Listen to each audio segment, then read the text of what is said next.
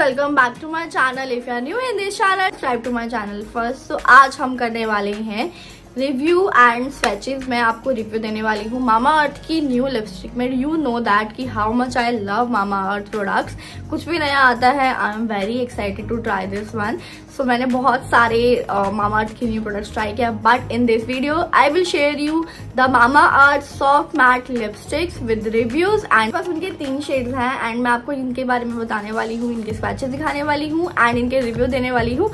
So let's get started packaging के बारे में बात करते हैं तो इसकी पैकेजिंग ऐसे कार्डबोर्ड की शेप में आती है वेरी मिनिमल स्क्वेयर शेप में। इसका एमआरपी है three ninety nine rupees for each and मैंने इसका टेस्ट किया है ऑलरेडी वन डे का। मैंने इसको ट्राई किया था कि लिपस्टिक कितना लॉन्ग स्टिकी बिल्कुल भी नहीं है। बहुत मखमल की तरह सॉफ्ट क्रीमी टेक्सचर में ये अप्लाई हो जाती है।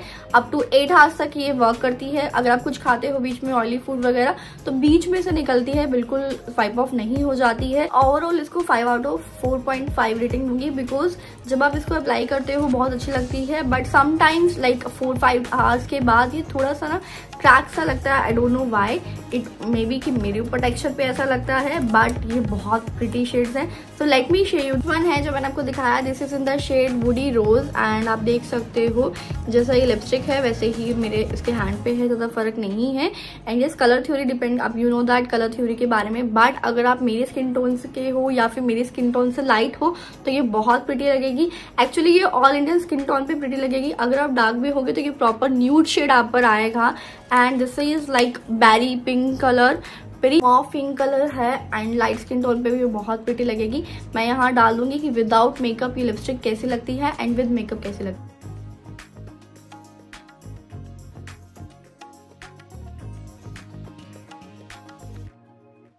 नेक्स्ट शेड है this one is honey blush and this one is very common बहुत ज़्यादा ये सेल हुआ है, मैंने मामा अर्थ के इस पे देखा था।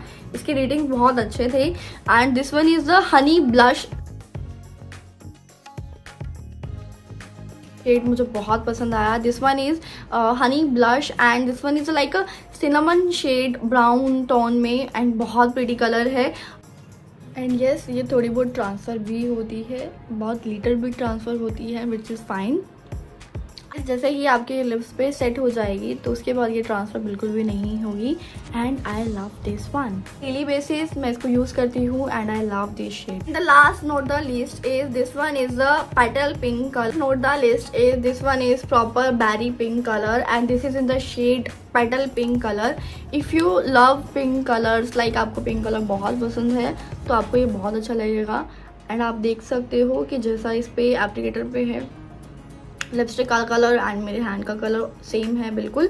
And I love this shade ये बहुत like bubbly pink this is actually bubbly pink colour berry shade not exactly berry shade but yes bubbly pink colour and I love this lipstick ये ऑल इंडिया स्किन टोन पर definitely अच्छी लगेगी।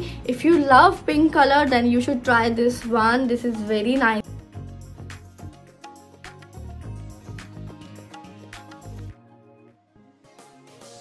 not exact chatak pink color but yet this is uh, up to like bubbly pink color so ये बहुत pretty लगेगा do try this one I love these three shades this is like uh, mauve pink color woody rose and this one is honey blush with cinnamon nude and this is petal pink shade uh, with bubbly pink color genuinely love the soft matte lipstick मैंने मामा की crayon lipstick भी try की थी and उससे पहले जो lipsticks आई थी मुझे वो भी बहुत पसंद आई थी but this lipstick is very good क्योंकि ये काफ़ी अच्छा लॉन्ग लास्ट कर जाती है मामा की ओ सेल लगती है आप इसको तब परचेज कर सकते हो। I really like the think ये तीन शेड्स बहुत ज़्यादा कवर अप कर देता है। आपकी लिपस्टिक्स को स्टिक सेट को ये कंप्लीट कर देता है, क्योंकि इसमें एक सिनामिन ब्राउन शेड भी है एंड इसमें एक pink petal like pink petal very berry shade भी। तीनों शेड्स ऑल इंडियन स्किन पे बहुत अच्छे लगेंगे। अगर आपको ये वीडियो अच्छी लगी हो तो अपनी फैमिली फ्रेंड्स के साथ शेयर करो and do try this one these shades are the best हैं नेक्स्ट वीडियो में।